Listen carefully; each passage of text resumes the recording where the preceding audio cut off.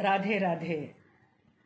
मेरी तबीयत ठीक नहीं है, मैं हॉस्पिटल में एडमिट हूँ, ऐसा कुछ न्यूज़ फैल रहा है हर जगह, लेकिन मेरे चाहने वाले सबको मैं ये कहना चाहती हूँ मेरे कुछ नहीं हुआ, मैं बिल्कुल ठीक हूँ, मैं स्वस्थ हूँ।